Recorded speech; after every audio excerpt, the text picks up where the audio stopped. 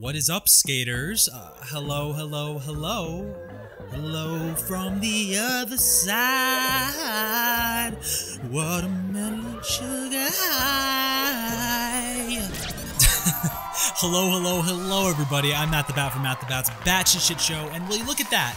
Another episode of the Simp series. This is the series where I geek out about all my favorite creators in a purely positive and loving light. Hey, if you're new here, please make sure to smash that like button, followed by the subscribe button, followed by the little bell notification, ding! That way you can stay up to date on all of the upcoming episodes. I'm about to launch a bunch of new series under the Batshit Shit Show umbrella, and your girl Lauren's very first interview, yes, first, will be dropping next week, and I cannot wait to show you all. So you're gonna want to be subscribed. Let's go, let's go, let's go. Yes, sir. The crowd out here is riled up because we have some big time Lauren fans in the audience. Uh, and I get it because there's a lot to simp about when it comes to our virgin, girl boss, IBS queen, Lauren Brodauf. She's truly one of a kind, very funny, and someone I've gotten to know over the past couple months. Uh, she's wonderful. So let's dive in. Lauren Brodauf is a 22 year old YouTuber from North Carolina who makes a wide array, if you will. You like that? array? Yeah, I, I, use that. I'm trying to vocab this shit up. I realized I was lacking a little bit, so, you know, I'm practicing a little vocab in there. No biggie. I should shut the fuck up. People are gonna stop watching this. but yeah, no, she makes a wide variety of comedic videos, from vlog type videos to ridiculous Omegle experiments to cooking videos to some YouTube type videos with a Lauren twist. Uh, to most recently, some music videos like this one. Harry, would you like to marry me? Because yeah, she's a very versatile creator, and we love versatility in this channel. Yes, we do. And it's this versatility that I'm now talking about for like a third or fourth time that has led her to over 330,000 subscribers and 17 million channel views. As I mentioned before, absolute girl boss. She's crushing it. And though those numbers are pretty astounding, when you look at her content, you can kind of see that there's really something for everybody within her catalog of videos, so it's really not that surprising. And I mentioned before that her content really spans through so many genres, really demonstrating how creative and experimental she really is as a content creator. And just as, as a small example, if you look at her three most viewed videos, you get a taste of this this range. Her most viewed video has 1.9 million views and is titled I Ask Strangers on Omegle for Life Advice. I have chronic constipation. The next is at 870,000 views and it's called I DM my selfie to 100 celebrities and ask them on a date. Joe Jonas, baby. This is real. This is me. Followed by What if Freddie Mercury sang like Halsey? One of my personal favorites. So funny. Editing's great. at 780,000 views.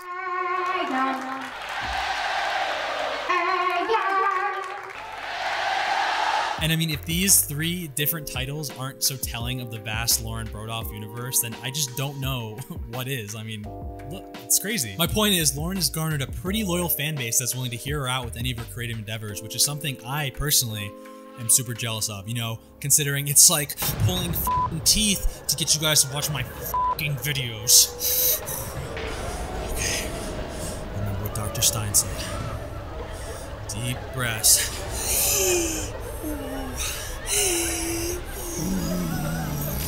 I'm kidding, I'm kidding.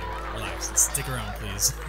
but no, for making an OnlyFans for her houseplant to her various quests for love across the internet, her fans are pretty much with her every step of the way, and it's all you can ask for as a young creator who is sort of navigating this transition from this just being a YouTube hobby to being a real career. And I don't know, I think that's just pretty awesome. But I guess the question is like, how was she able to really cultivate such an impressive fandom over her? I mean, she's, she's a random girl in suburbia. She's not giving out Teslas or blowing millions on pranks. So how is it possible that she's able to maintain such a loyal ass fan base of over 300,000 people? And after diving so deep on this, I think I have the answer. And the answer is that Lauren is just being herself. And in an internet universe where no one else is, I can't tell you how much I appreciate watching something like this because it's all you know personality driven and her personality is awesome. She's funny and she gets that life is kind of mundane and she just absorbs that and and gives it back out to people. And uh, she doesn't play this card of being this massive YouTuber who is who's better than you or who flaunts their expensive shit and their financial freedom to blow money on any video that they can. Like it, you know, she's all in, in her bedroom. She's still a girl who loves Harry Styles. She's still hopelessly looking for love and probably can't find it because she's so weird. And Lauren, I say that with love because weird is kind of my thing if you can't tell by this YouTube show. And I think it really adds to your character and kind of this brand that you've built. And this entire package of her personality and how you see a glimpse into her life really creates such a strong picture of someone that could be your friend in the real world. And I think that's been reassuring for people who have been locked inside because of the pandemic and whatever else. And like, there comes a point where you just can't talk to Mima all day. Like, you gotta go and, and follow your girl Lauren, who's awkward like you and, and and makes you laugh and join her on her virtual journeys because it, it's just fun and it takes you away from whatever you're dealing with in your house, like like your Mima. you know what I mean? And this kind of reflection of her as a regular young 20 something year old who's still kind of figuring it out and having fun doing it is something that people can actually relate to. It's like, what better way to connect to someone than understanding that their situation is pretty close to yours. And another side note, this feeling uh, or this vibe of being ordinary is something that I always connected with through television. If you know me, I reference Nickelodeon a lot in my life because I remember feeling super connected to a lot of the characters, um, like Arnold from Hey Arnold, or Doug Funnie from Doug, or even Ginger Foutley from As Told by Ginger. Not because I'm a ginger, shut the f up, but um, no, the characters were like the epitome of ordinary.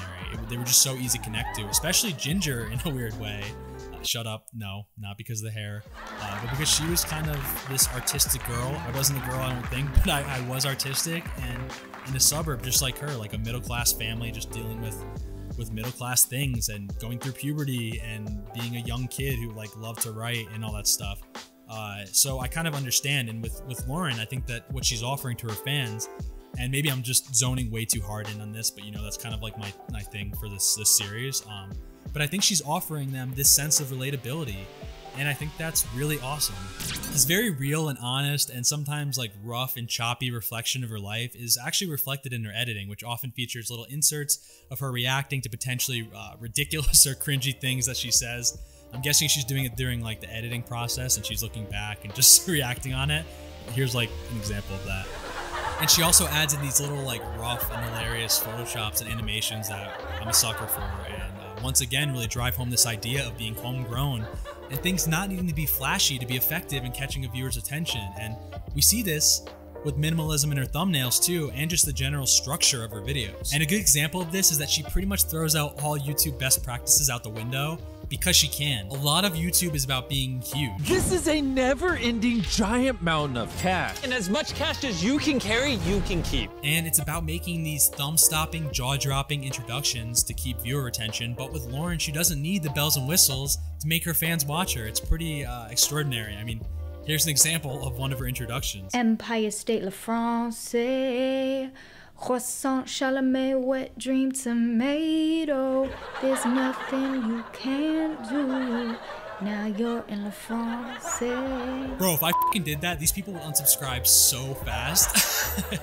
I would be left in the fucking YouTube dust for all of eternity, and people would never find me. Uh, so, in fact, this is your reminder to like, subscribe, and smash that little bell notification. Ding! Uh, and then comment at the end. Let me know what you think. Thank you, thank you, thank you.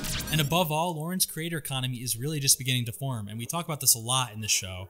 Uh, as that term is being tossed around by a lot of YouTubers and stuff like that. Uh, but she's branched out into making music and behind the scenes of the making of the songs and is now doing some traveling to other countries, as we just saw in a recent video to France, which was quite the journey. God has blessed me today. He has blessed he has blessed my being. He has not blessed my bowels because once again, the second I sat down onto this nine hour flight, I had to shit so bad, and I still do. And the possibilities are really endless when it comes to how Lauren can extend her brand, whether that be with merch or with more ads.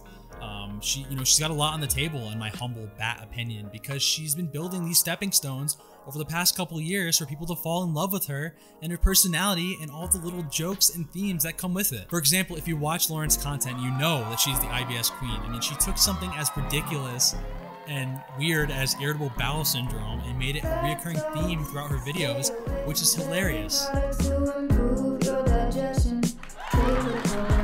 And if you watch her videos, you would know that she is the great Freddie Mercury's daughter who loves Harry Styles and Timothy Chalamet. Bonjour, Timothy. You can call me good girl all you would like. No, inappropriate. That is inappropriate. And I don't even think she knows she's doing it, but these little themes and, and tropes throughout her, her videos are building such a strong cult following. And I see it through the comments and I just think it's so smart for her brand. And at the end of the day, it's so nice to find creators that we can wholeheartedly trust and relate to. And unfortunately, you know, I find personally that uh, as our favorite creators blossom and become really successful, uh, some of them, not all, but some of them lose that early YouTube humbleness they used to have. And for me, launching this show, uh, I did it out of kind of like this deep feeling of wanting to connect with people through YouTube, which was always a dream of mine when YouTube first came out.